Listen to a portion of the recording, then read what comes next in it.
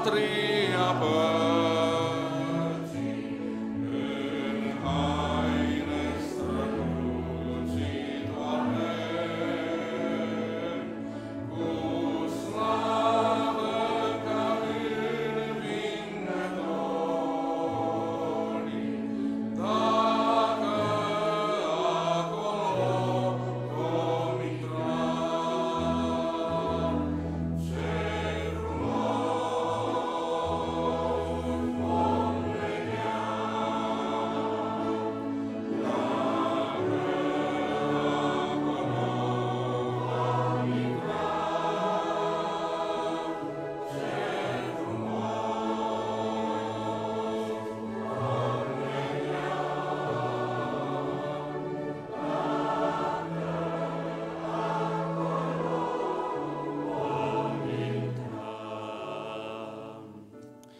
Doresc să cântăm împreună în începutul serviciului de închinare din această dimineață, să cântăm și cântarea de la numărul 1, colecția nouă de cântări, cântare care spune Slavă dați Domnului, căci peste regi este rege, El vie părinte și El păsul vi-l înțelege. Cântarea de la numărul 1.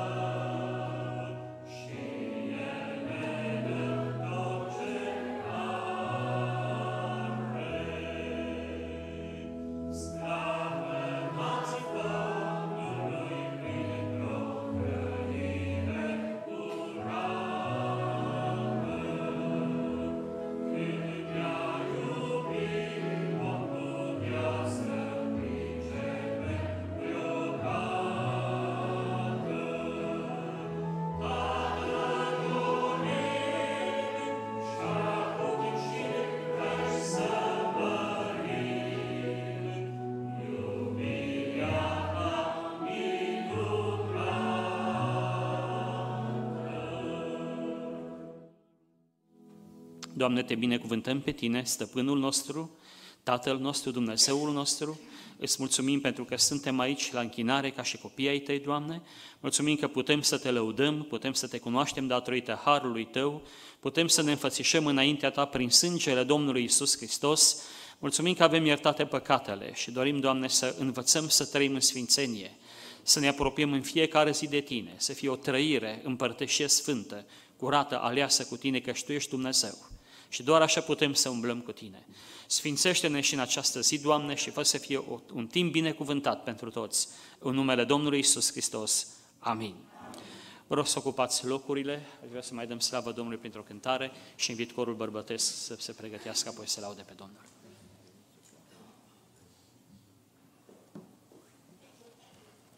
Mai cântăm toți împreună din cântarea de la numărul 75, care ne îndeamnă la a cânta Domnului din inimă. Veniți să cântăm, slăvind pe Iisus și să lăudăm pe Tatăl de sus, numărul 75.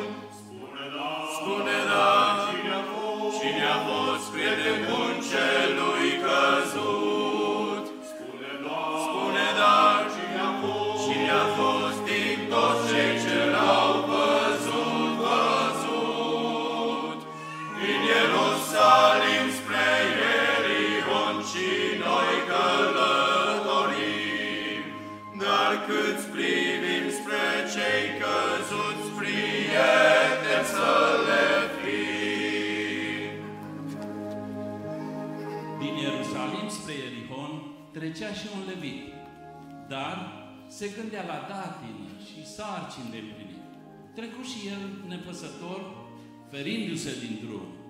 Dar cine pentru cel căzut va fi un prieten bun?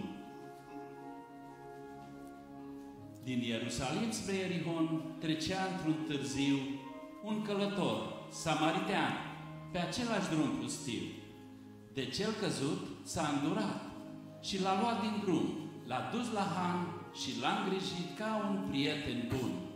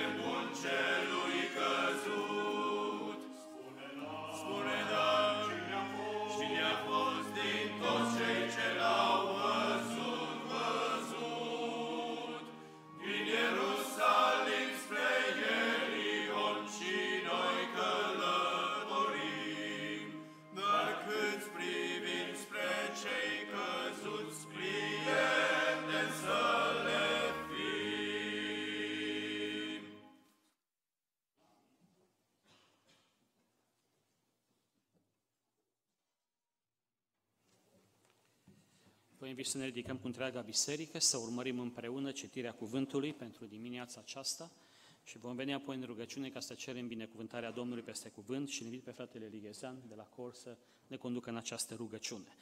În această dimineață voi citi din Evanghelia după Luca, capitolul 10, de la versetul 38 până la versetul 42. Evanghelia după Luca, capitolul 10, de la versetul 38 până la versetul 42. Pe când era pe drum cu ucenicii săi, Iisus a intrat într-un sat și o femeie numită Marta l-a primit în casa ei. Ea avea o soră numită Maria, care s-a așezat jos la picioarele Domnului și asculta cuvintele lui. Marta era împărțită cu multă slujire, a venit repede la el și i-a zis, Doamne, nu-ți pasă că sora mea m-a lăsat să slujesc singură? Zi dar să-mi ajute. Drept răspuns, Iisus i-a zis, Marto, Marto, pentru multe lucruri te îngrijorezi și te frămânți tu, dar un singur lucru trebuiește. Maria și-a ales partea cea bună, care nu îi se va lua niciodată. Amin. Haidem să ne rugăm Domnului. Doamne Iisuse Hristoase, te slăvim și îți mulțumim și în această dimineață ne-ai dat ocazia din nou să putem să fim oaspeți și mezienii Tăi la masa ta. Amin. Îți mulțumim, Doamne, pentru cuvântul Tău care în această dimineață ne învață, Doamne. Ajută-ne să fim și ca Marta și ca Maria. Amin. Ajută-ne, Doamne, să ne vedem și să ne știm rolul nostru. Ajută-ne, Doamne, să fim și ospitalieri, fără Amin. mângâiere. Doamne, ajută-ne să învățăm și de la Marta să ne apropiem de Tine și să ascultăm că este mai important cuvântul Tău. Amin. Ajută-ne, Doamne,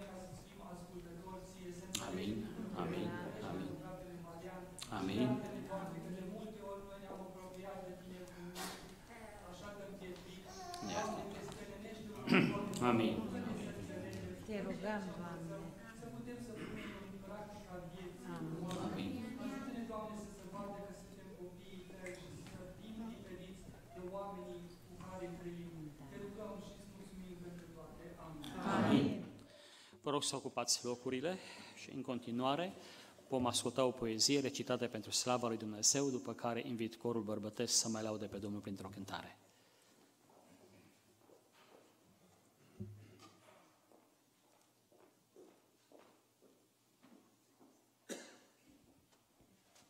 La ceasul pocăinței.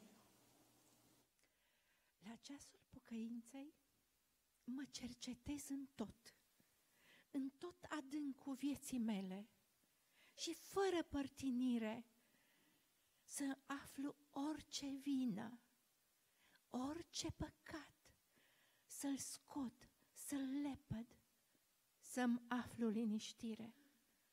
N-am omorât pe nimeni, dar gândurile de jar și ochii de ispite n-au biruit. N-am omorât pe nimeni, n-am ars pe nimeni, dar prea des și cu plăcere am mers pe căi oprite. Prea m-am temut de ochii tâlhari și prefăcuți. Lumina cea din mine nu le-a învins trufia, nici n-am luat în seamă dușmanii cei tăcuți, nici vulpile mărunte ce-mi nimiciră via. Prea multă nepăsare am dat la cele mici, prea multă grijă celor ce le-am crezut de frunte și azi văd că nu-i nimica de lepădat și nici nu sunt pe lumea asta păcate prea mărunte. Nu în orice timp blândețea smerită m-a însoțit. Tăcerea și iertarea n-au fost mereu cu mine. Să fac o milostenie n-am alergat grăbit, nici la post și rugăciune. La ceasul pocăinței mă cercetez în tot și îmi plec zdrobita frunte căci poate chiar păcate de moarte să-mi scot, iar cel mai greu e acela că le-am crezut mărunte. Amin.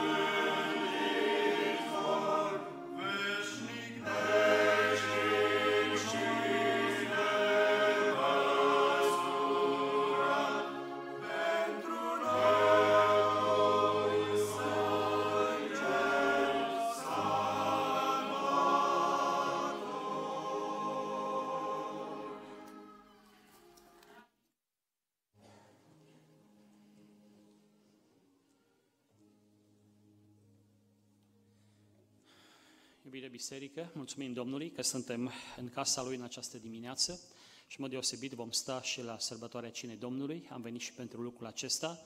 Am venit să ne apropiem de Domnul și doresc ca Domnul să ne binecuvinteze. Mă bucur să văd surorile în vârstă, frați care sunt mai bolnavi, care nu vin la toate serviciile de închinare și sunteți cu noi în această dimineață, să fim împreună la această sărbătoare. Doresc ca Dumnezeu să vă binecuvinteze. Sunt de asemenea și familii încercate. Am anunțat și vineri seara că a plecat la Domnul uh, mama unor surori care sunt parte a Bisericii Haru. Sora uh, Petrișor este cu noi în această dimineață, Domnul să vă binecuvinteze. Mama sorii a plecat la Domnul, sora Crișana a plecat în România, sănătatea i-a permis și a ajuns cu bine, Domnul să o întărească. Domnul să vă mângâie. Sunt încercări uh, după încercări, așa cum vorbeam și la telefon, dar Domnul a binecuvântat-o pe mama cu o viață frumoasă și sănătoasă și o femeie credincioasă și a plecat la Domnul la mai bine de 99 de ani. Domnul să fie binecuvântat. Uh, când vom ajunge noi acolo, uh, vom avea o reuniune și vom discuta aceste lucruri, dacă va fi. Este un har pentru unii să ajungă să trăiască și zile ca și acestea. Dumnezeu le conduce pe toate, numele Lui să fie binecuvântat. Am avut de asemenea uh, un timp binecuvântat cu frații păstori uh, săptămâna trecută, duminică de asemenea, Domnul să fie binecuvântat, a fost chiar o sărbătoare Biserica Haru și ziua de vineri. Și duminică, de asemenea, mulțumim Domnului și pentru lucrul acesta, suntem împreună din nou, suntem acasă, familia, vreau să mulțumesc celor care au slujit, celor care au dăruit de asemenea, Domnul să vă răsplătească. Uh, este cineva anonim pe care nici eu nu-l cunosc, care a vrut să suporte cheltuielile, Domnul să vă binecuvinteze și să vă răsplătească. Mulțumim că ne putem închina, că ne putem aduna, că putem să-L slujim, că ne putem încuraja unii pe alții. Dorim ca și dimineața aceasta să fie o dimineață fructuoasă și binecuvântată pentru sufletele noastre ale fiecăruia. Amin. În această seară eh, va sluji fanfara, și vor veni la repetiție, dacă s-a anunțat o repetiție la ora 5, dacă nu greșesc, Domnul să vă binecuvinteze. În continuare, cred că corul bărbătesc mai are o cântare pregătită pentru această dimineață și apoi ne pregătim să ascultăm predicarea Cuvântului Sfânt al lui Dumnezeu. Domnul să ne binecuvinteze prin el. Amin.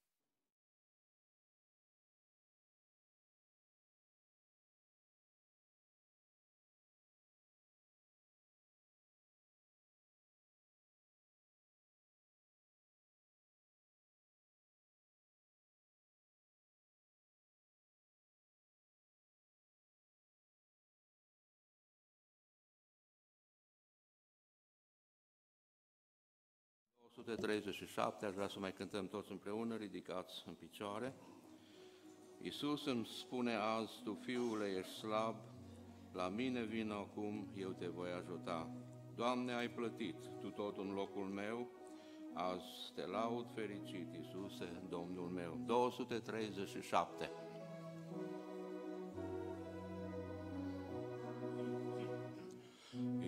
Iisus îmi spune azi,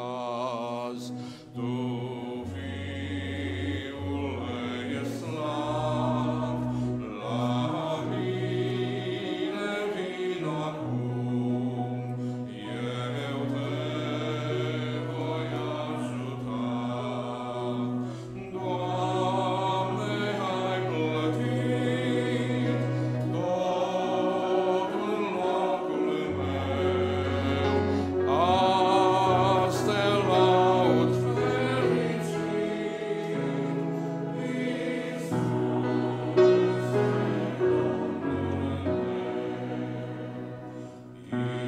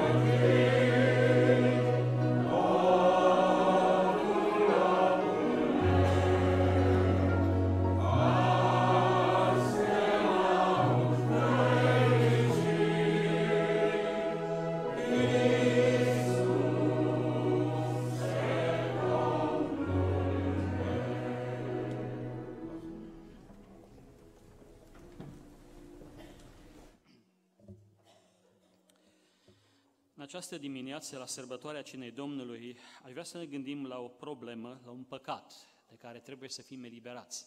Suntem la sărbătoarea Cinei și în urmă cu o, săpt- cu o lună vorbeam despre atitudinea unora uh, în care foarte neconfortabilă de a îi judeca pe alții, de a vorbi într-un fel sau altul, de a avea diferite părări și spuneam că avem nevoie să ne pocăim și avem nevoie de iertare.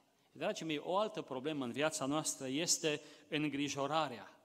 Și vreau să vedeți că foarte frumos, fără să acuze, fără să lovească, toate cât putea, Domnul Iisus îi spune Martei așa de frumos, Marto, Marto, pentru multe lucruri te frămânți și te, te îngrijorezi și te frămânți tu. Mă gândesc eu, oare este îngrijorarea partea vieții noastre uneori în viață? Suntem îngrijorați? Rămâne ca să ne dăm fiecare dintre noi răspunsul. A doua întrebare, este oare sau nu este îngrijorarea păcat? Este sau nu este? Atunci când ne, ilus- când ne îngrijorăm, îngrijorarea ce arată, din ce punct de vedere este prezentată viața omului atunci când el se îngrijorează. Dar înainte să vorbesc despre îngrijorare, aș vrea să citim un pasaj și rog pe, pe cei care sunt sus să mă ajute și vreau să puneți primul slide, iar noi cu întreaga biserică să citim această parte. Este un verset din Scriptură, haideți să-l citim împre, împreună. Fariseii au văzut lucrul acesta și au auzit... uh, Eu nu mai pot, nu mai știu ce scrie. Mi-a să știți? Dă slide-ul următor, te rog frumos. Așa, farisei au, spunem împreună. Fariseii au văzut lucrul acesta și au zis ucenicilor lui, pentru ce mănâncă învățătorul vostru, vame și și păcătoși, Iisus i-a auzit și le-a zis, nu cei sănătoși au trebuință, opriți-vă. Parcă merge mai bine, nu chiar le spunem împreună, dar dă slide-ul următor. Haideți să citim acum. Fariseii au văzut lucrul acesta și au zis ucenicilor lui, pentru ce mănâncă învățătorul vostru cu vame și, și cu păcătoși? Iisus i-a auzit și le-a zis, nu cei sănătoși au trebuință de doctor, ci cei bolnavi. Duceți-vă de învățați ce înseamnă milă voiesc, iar nu jertfă. Căci n-am venit să chem la pocăință pe cei neprihăniți, ci pe toți cei păcătoși. Amin. Vă întreb eu pe dumneavoastră, punctuația își are rolul sau nu? Putem să o, să o eliminăm. Putem să renunțăm oare la carte, la școală și să punem cuvintele când scriem unul după altul, așa, fără, doar să le punem. Aceleași cuvinte care le citim cu punctuație, putem să le punem fără. Nu. Punctuația își are rolul ei. Ați observat cântarea corului bărbătesc când a punctuat, când a accentuat ceva important, parcă a sunat atât de frumos. Este o biserică presbiteriană în uh, Corea de Sud, dacă nu greșesc, cântă imnurile care le cântăm și noi, le cântă și în engleză foarte mult. Și este cineva care conduce cântarea și punctuează părțile importante, accentuează ceva. Este așa de important, dragii mei, ca să știi să accentuezi. Ce rol are această punctuație? Vreau să observăm, dragii mei, că punctuația este importantă. Fără punctuație, textul parcă își pierde însemnătatea. Poți să-l citești, dar trebuie să te gândești oare ce vrea să spună. Nu are o direcție. Scopul punctuației este să conducă cititorul ca să dea sens cuvântului. Punctuația este foarte importantă de sens și de viață. E, dragii mei, când ne uităm la noi, aș vrea să vedem că este importantă această punctuație. Știți cum sună viața noastră uneori?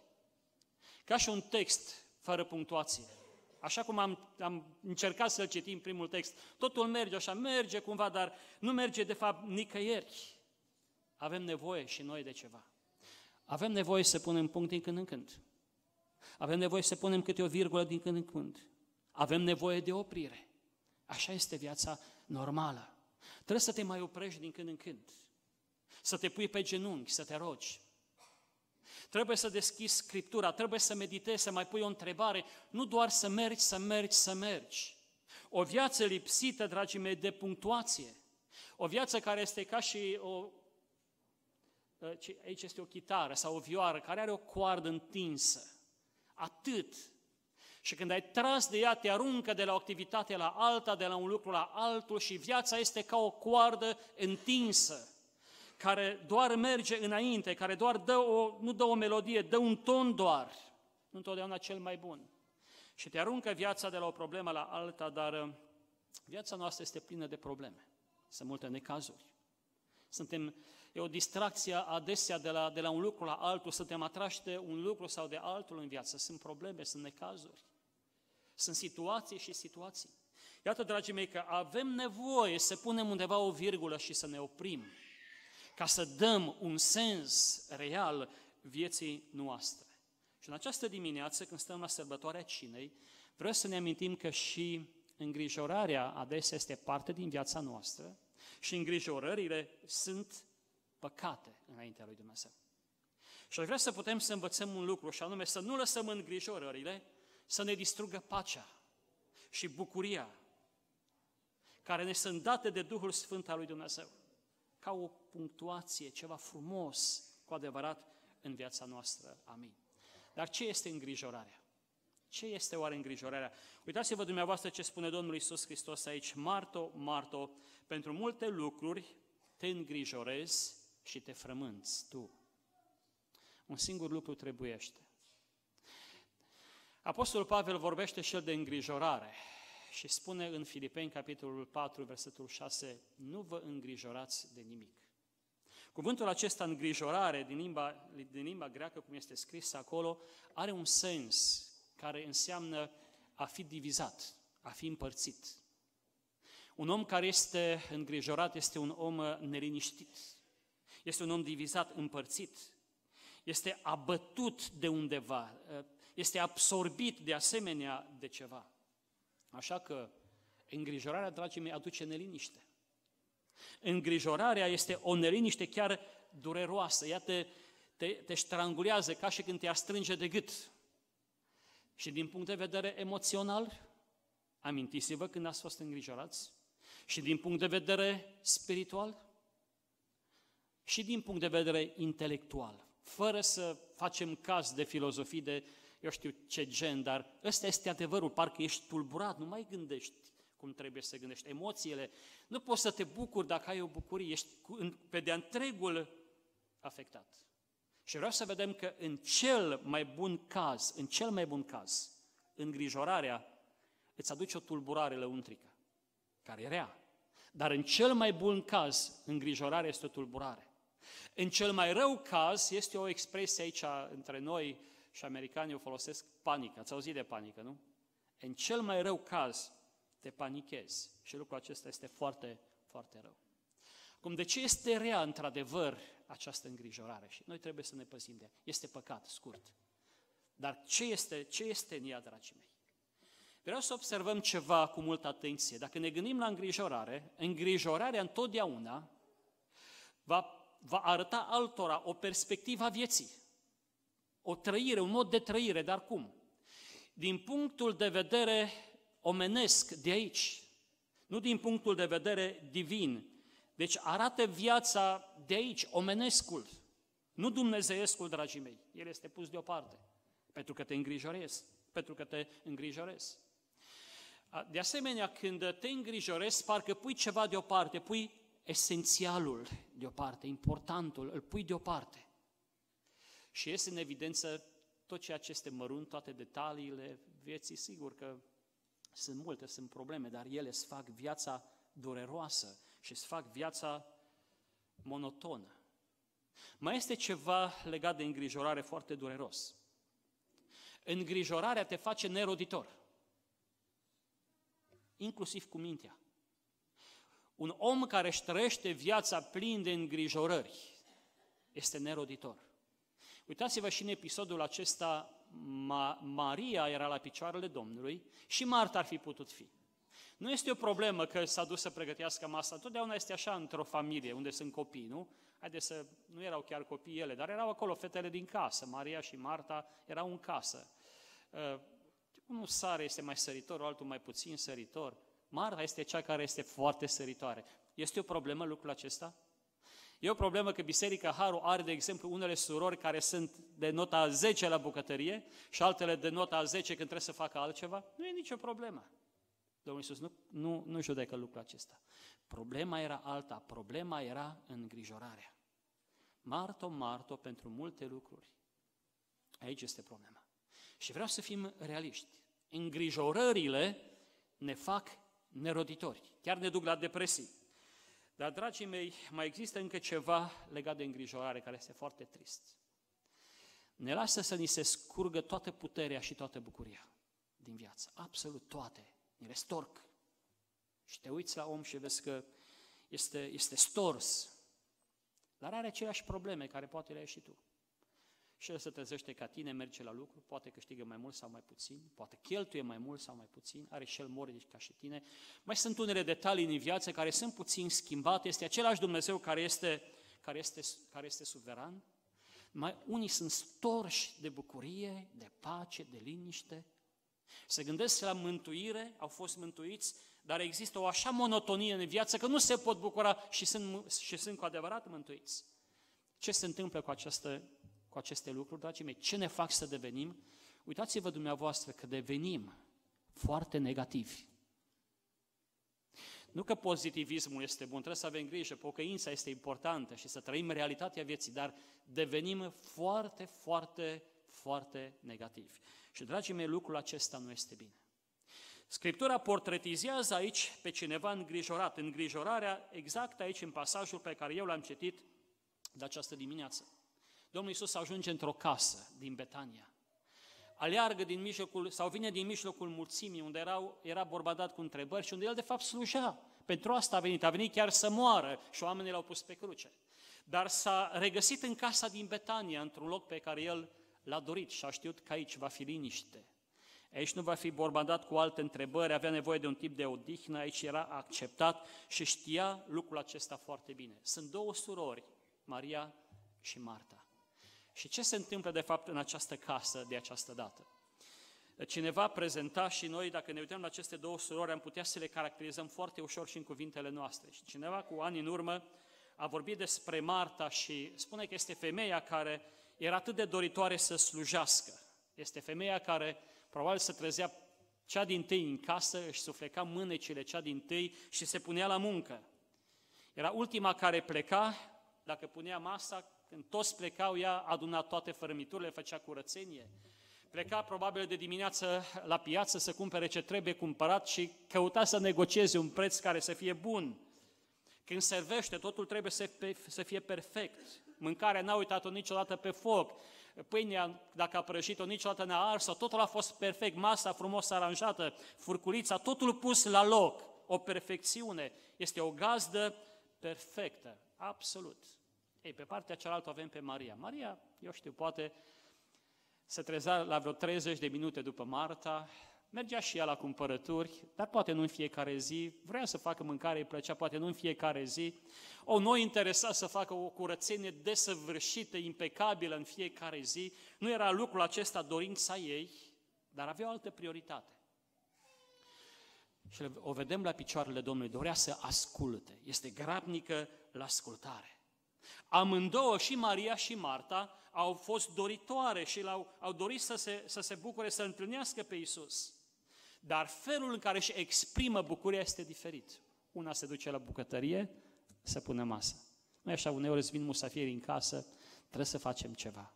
Mi-amintesc că vorbeam în România de un grup de rugăciune prin case și s-a ridicat un frate, frate zice, ai grijă că surorile fac prăjituri, fac uh, cozonaci și nu e rău lucrul acesta, numai că nu se poate fără asta și atunci toate sunt îngrijorate și atunci muncești și fac cozonaci și care mai de care și totul se transformă de la rugăciune la ai grijă.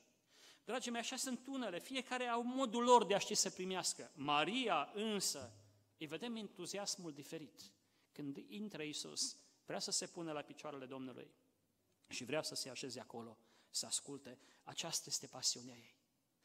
Această femeie este preocupată să nu uite în viață, se pare, lucrurile esențiale și a evilat mintea, gândirea de orice. Este ceva important, este ceva esențial, Isus. Și este preocupată să asculte, de a nu face nimic, doar să asculte. Ei, Marta nu este așa. Este și ea o credincioasă. Nu putem să o judecăm. Dar vreau să vedem că Marta era împărțită între toate detaliile vieții, în, în munca aceasta era împărțită cu multă muncă și cu multă alergare. Ar fi vrut ea să-L asculte pe Domnul? Sincer, da.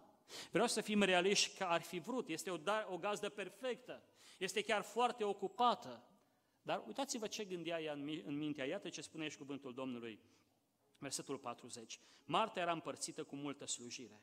A venit repede la el, adică la Isus și a zis, Doamne, nu-ți pasă că sorul mi-a m-a lăsat să slujesc singură? Zi, dar să mă ajute. Credeți că a fost un drum până când să vină Marta să spună Domnului, Doamne, nu-ți pasă? Nu pot să spun ce ton a folosit Marta vorbind, spunând aceste cuvinte, dar mă gândesc că până să ajungă, să, să lase acolo pâinea care o frământa, probabil, sau ce făcea ea, și-a dat jos șorțul, s-a, s-a curățat pe mâini, pe mâini, s-a dus să spună Domnului, a fost un proces în mintea ei. Imaginați-vă oare ce a făcut Marta, dumneavoastră care sunteți adesea la bucătărie? Se gândea la Maria, se gândea la Domnul. Nu vine să cred că Maria nu e aici cu mine să mă ajute. Nu vine să cred. Și a mai întors, a luat odată, nu l-a mai întors odată. Și s-a mai gândit încă o dată, probabil. Chiar nu vine? Păi dacă Maria ar fi fost aici cu mine, eu, Marta și Maria, am fi terminat lucrul imediat și ne-am fi dus amândouă să-l, să-l ascultăm pe, pe Domnul. Nu-mi vine să cred mai pune ulei, mai eu știu ce mai pune acolo, frământă mai departe. Dar chiar nu-i pasă, nici lui nu-i pasă, nu vede el cât lucrez eu și ea stă acolo la picioarele lui și ascultă. Chiar nu-i pasă și mă gândesc că se necăjește în ea. Și mai zice ceva. Dar chiar, chiar nu zice nimic, nu vine, nu vine să-mi spună nimic, chiar nimic nu-i zice nici ei, nu-mi vine să cred lucrul acesta. Și atunci se duce ea. Doamne, nu-ți pasă? Nu-ți pasă de lucrul acesta? Și atât răspunsul. Marto, Marto, pentru multe lucruri te îngrijorezi și te frămânți tu. Dragii mei, oare este o problemă faptul că Marta s-a dus la bucătărie? Vedem că Domnul Iisus Hristos nu acuză absolut deloc în privința aceasta. Vreau să vedem că nu aceasta este problema. Problema este îngrijorarea. Ce a văzut Domnul în inima Martei este îngrijorarea, este frământarea pe care această femeie o avea. Și aceste înfrământări, aceste îngrijorări, nu i-a dat posibilitatea să meargă să aibă părtășie cu Domnul. Dragii mei, revenind la noi, nu este oare așa? Este adevărat oare că frământările și îngrijorările noastre nu ne lasă să avem părtășie reală cu Hristos? Haideți să facem și o examinare personală a fiecăruia dintre noi, a vieții noastre, trecând de la Maria și trecând de la Marta. Și să recunoaștem că de multe ori suntem ca și Marta, suntem îngrijorați. Oare ce putem face? Și care este cauza îngrijorării? Vreau să folosim o matematică, o aritmetică simplă pe care bănuiesc că nici dumneavoastră nu o veți uita, este simplă.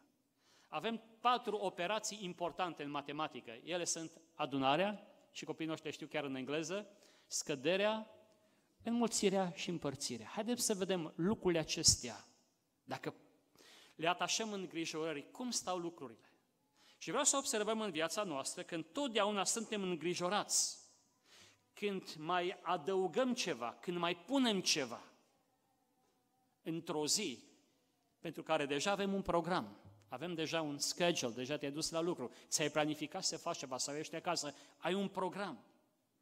Dar când la programul tău a, a, deja stabilit mai adaugi ceva, să mai faci tu ceva, crezând că asta te face să fii ceva, să fii cineva, nu este așa, dragii mei, când ne lovește ceva? Cu adevărat ne lovește ceva? Este îngrijorarea, dragii mei, dar întotdeauna se mai întâmplă ceva. Nu prea rezolv să le fac pe toate. Și cum devin eu?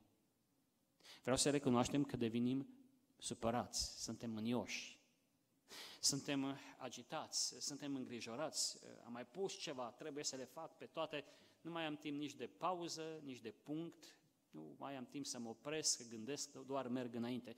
Dragii mei, să avem grijă ce adăugăm în fiecare zi în viața noastră, să nu fim prea preocupați, să ajungem atât de ocupați încât la sfârșitul zilei, când tragem linie, să spunem, sunt tulburat, e prea mult. Al doilea lucru important. Noi lucrăm, noi alergăm și cine nu lucrează nici să nu mănânce, spune Scriptura. Dar s-ar putea ca de acolo să scădem ceva, să tăiem ceva de acolo. Și atunci eu sunt destul de aglomerat. Drept pentru care nu mă mai rog. Când să mă mai rog? Nu? Drept pentru care nu mai citesc Scriptura, drept pentru care nu mai am timp să meditez, să gândesc lucrurile normale, sănătos și așa mai departe. În ce stare voi ajunge eu?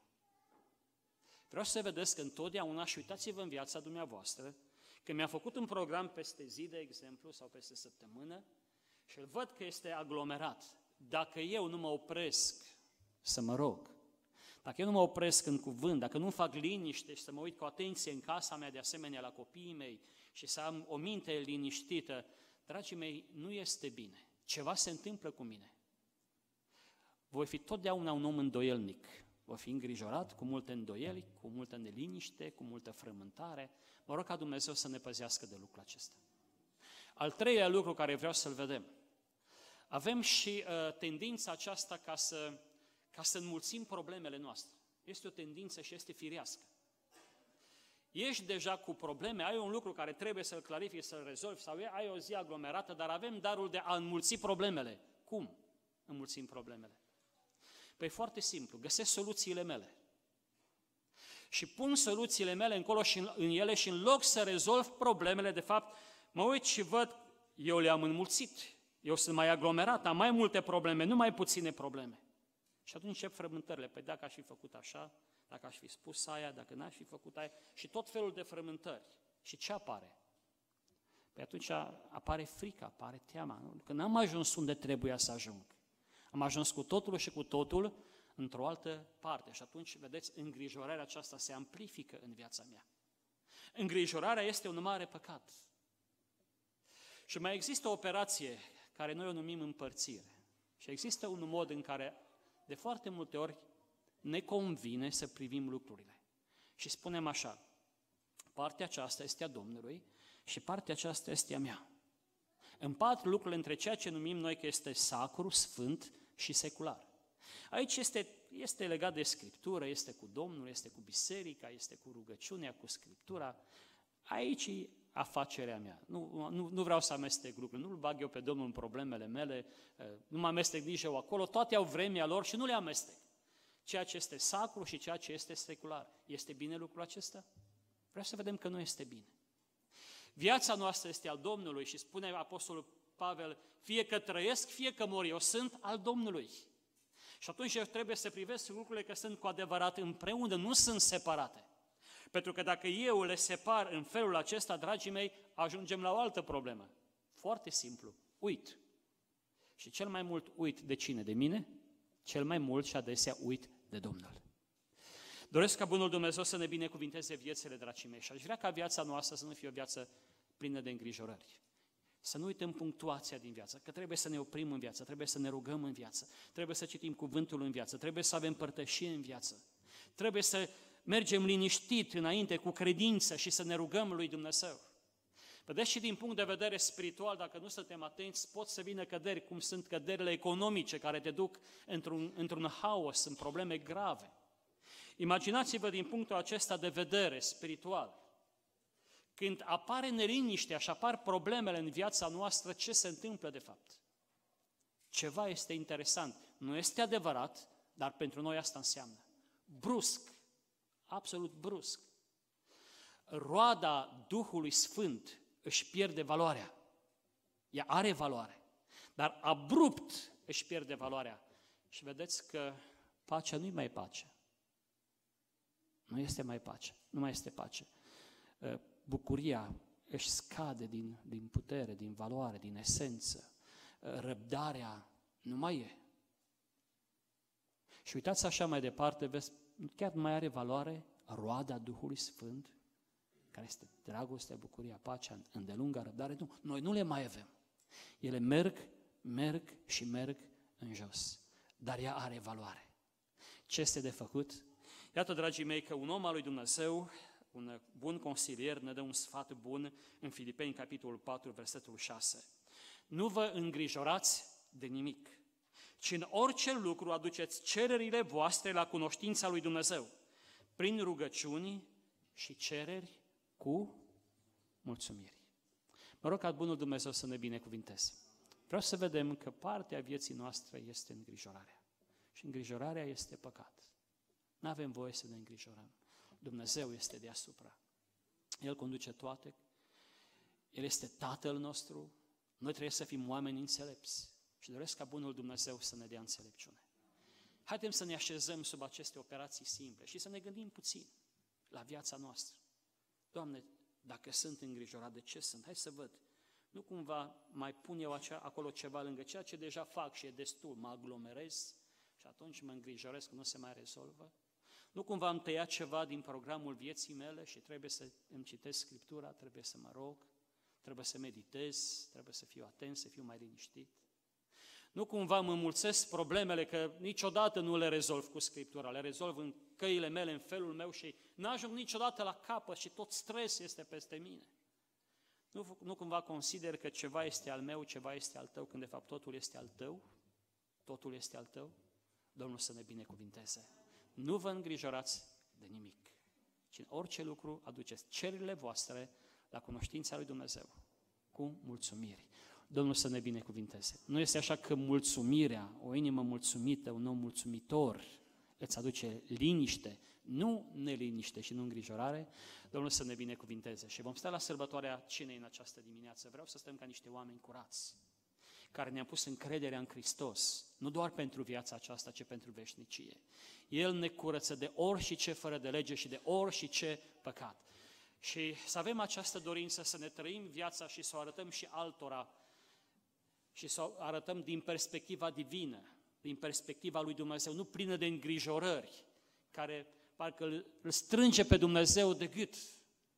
Nu mai are cuvânt Dumnezeu în viața noastră, pentru că suntem preocupați noi de viața noastră și vrem să ne o trăim noi. Domnul să ne binecuvinteze și să aducem pe Hristos în viețile noastre, ca să fie, ca să dispară această îngrijorare pentru fiecare. Amin.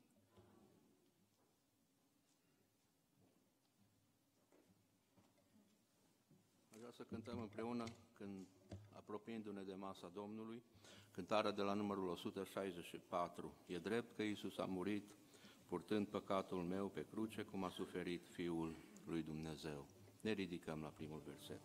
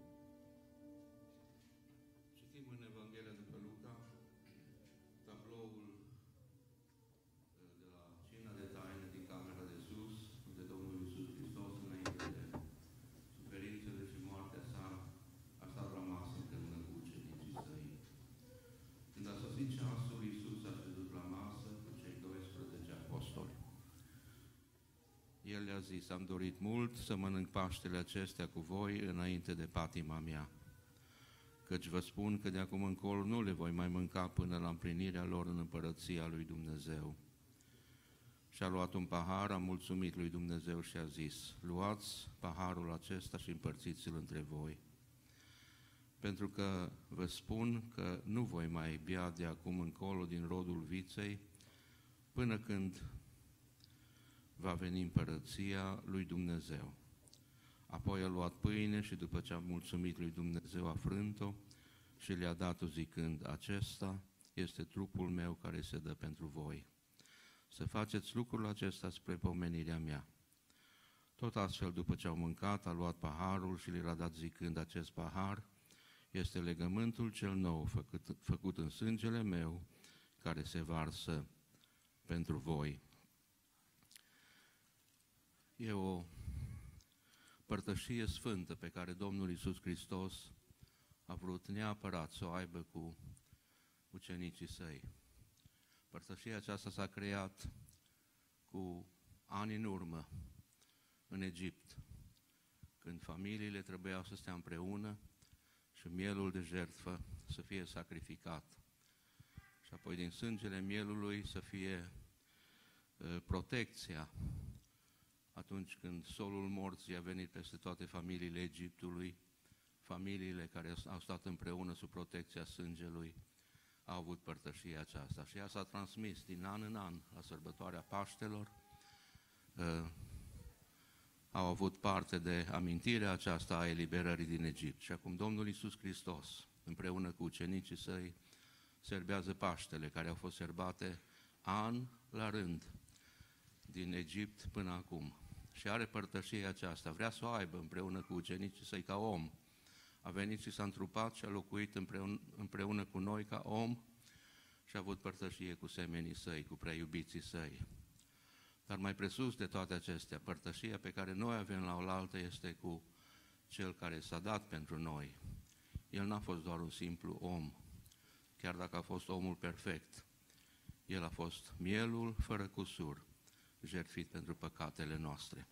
Și avem în fața noastră pâinea, care simbolizează trupul frânt al Domnului Isus Hristos și avem rodul viței, care simbolizează sângele Domnului Isus Hristos. Avem părtășie unii cu alții, dar avem părtășie cu El prin elementele acestea în mod simbolic și prin Duhul Sfânt care se prezentă în mijlocul nostru. Și aș vrea ca aceasta să o prețuim, prezența Lui în mijlocul nostru prin Duhul Sfânt. Și apoi când întindem mâna să ne cercetăm, cum spune Scriptura, fiecare să ne cercetăm și astfel să întindem mâna spre bucata de pâine și spre paharul cu rodul viței. Domnul Iisus Hristos, înainte ca să dea pâinea și înainte ca să dea paharul, s-a rugat cu voce tare în fața ucenicilor săi. Facem și noi lucrul acesta. Cu toții ne rugăm în duhurile noastre și cu voce tare rog ca fratele Dorel Bărnut să ne conducă în această rugăciune. Venim, Doamne Dumnezeu, în dimineața aceasta și îți mulțumim pentru jertfa de la Calvar. Îți mulțumim, Doamne, că prin această jertfă avem iertarea păcatelor. Te rog, Doamne Dumnezeule, să ne binecuvintezi ca și biserică, să pui în noi, Doamne, o dragoste sfântă, Doamne, față unii, față de ceilalți, Doamne, și îți mulțumim, Doamne Dumnezeule, pentru trupul Tău, Doamne, pentru comemorarea aceasta. Ajută-ne, Doamne Dumnezeule, să ne împărtășim, Doamne, să venim, venim înaintea Ta cu inima curată, Doamne, și așa să ne cercetăm și așa să luăm această pâine, Doamne. Rămâi cu noi și noi cu Tine până la venirea Ta. Amin. Ocupăm locurile. Domnul Iisus Hristos a luat o pâine în fața ucenicilor săi și după ce a binecuvântat-o, a frânt-o și a dat ucenicilor și spunând, luați, mâncați. Acesta este trupul meu care se frânge pentru voi să faceți lucrul acesta de pomenirea mea. Și în timp ce întindem mâna spre bucata de pâine, vreau să cântăm din cântarea 557. Are doar două versete. Unul îl vom cânta o dată sau de două sau de mai multe ori în timp ce ne împărtășim cu pâinea și spune așa, astăzi oaspeți ai lui Isus, noul legământ serbați, cel ce a fost jertfit pe cruce, spune acum, luați, mâncați, 557. Cântăm versetul acesta de câteva ori.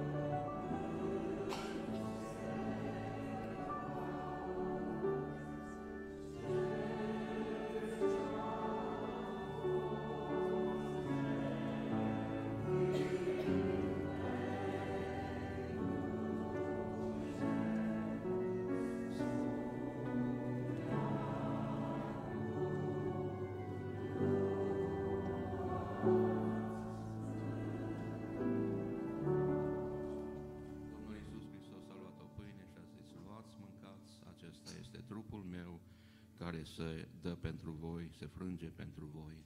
Să faceți lucrul acesta spre pomenirea mea. Amin.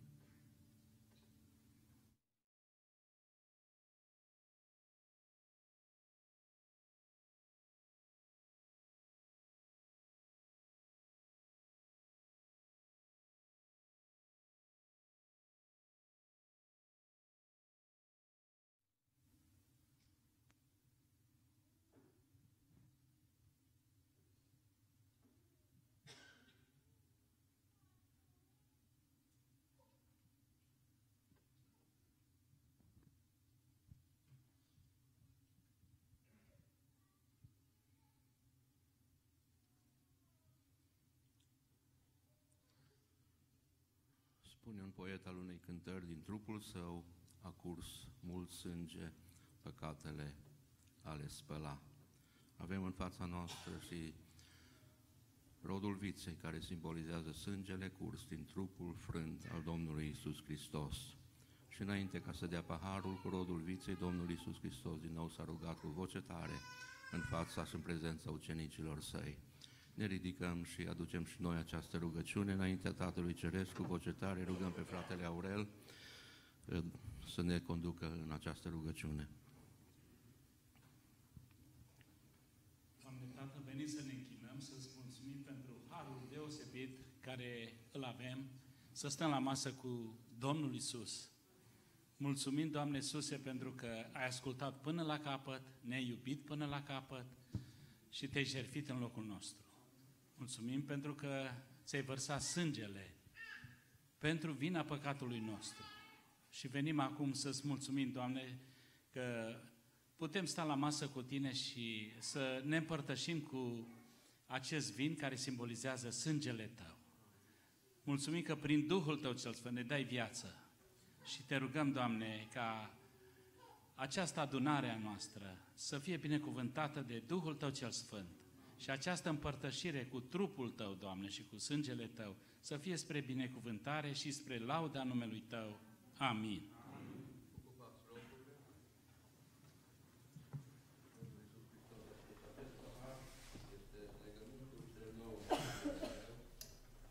Să faceți lucrul acesta spre pomenirea mea, ori de câte ori veți bea din el.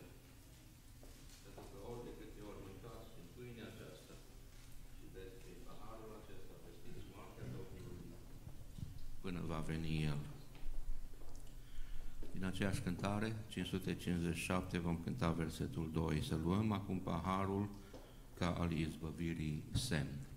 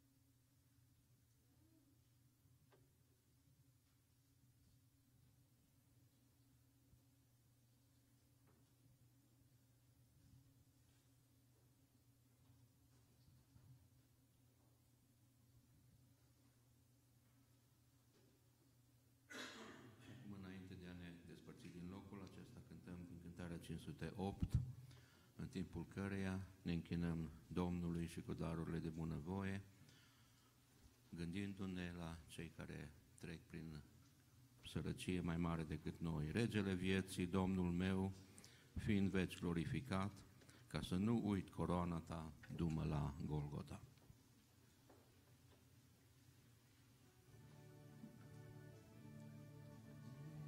Ne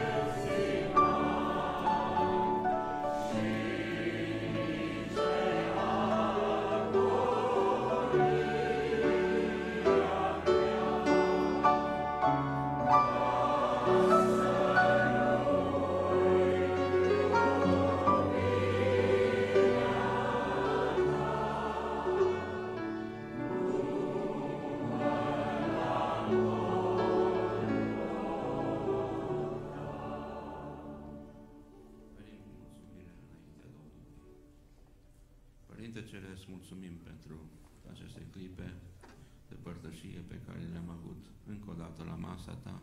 Mulțumim pentru harul acesta de care ne-ai făcut parte. Ajută-ne, Doamne, că atâta vreme cât Tu vei îngădui ca să uh, mai practicăm lucrarea aceasta până vei veni Tu, ajută-ne să o facem cu cercetare de sine întotdeauna și gândul acestei cântări pe care am cântat-o, să nu uităm niciodată că în locul nostru, Tu, Doamne Iisuse, ai suferit crucea, ai suferit calvarul din Ghețimani și apăsarea păcatelor noastre, povara pe care ai simțit-o Tu, Doamne, fiindcă ai fost cel nevinovat. Ajută-ne să ne, să ne gândim întotdeauna la lucrul acesta și în felul acesta să putem vedea prețul pe care l-ai plătit pentru noi, cei care rătăceam pe căile rătăcitoare ale acestei lumi. Îți mulțumim că în locul nostru și numai pentru noi ai plătit acest preț în harul tău nespus de mare pe care l-ai avut atunci când ai trimis pe Domnul Isus, Tată Ceresc. Îți aducem toată slava și cinstea și te rugăm, Doamne, însoțește-ne ca pe mai departe să ne ducem și noi crucea de fiecare zi pe care ai îngăduit ca să o purtăm în lumea aceasta. Știm că ne-ai chemat ca să mergem pe calea crucii, dar îți mulțumim că ne-ai și promis că vei fi alături de noi, ne vei însoți, ne vei îmbărbăta, ne vei întări și de aceea ne încredem în promisiunea ta. Și acum te rugăm, primește-ne să venim așa cum Domnul Iisus Hristos a învățat pe ucenicii lui zicând, Tatăl nostru care ești în ceruri, sfințească-se în numele Tău, vie împărăția ta, facă-se voia ta, precum în cer, așa și pe pământ. Pâinea noastră, cea de toate zilele, dă-ne nouă astăzi și ne iartă nouă greșelile noastre, precum și noi iertăm greșiților noștri. Și nu ne duce pe noi în ispită, ci ne izbăvește de cel rău, căci a ta este împărăția, puterea și slava în veci. Amin. După obiceiul pe care îl avem la cina Domnului, cei îndemnați de Duhul ca să rămână în zi de post și rugăciune, sunt îndemnați ca să o facă. Ceilalți ne despărțim și ne întoarcem spre, la închinare la ora 6. Fanfara vine la repetiție la ora 5. Domnul să vă binecuvinteze.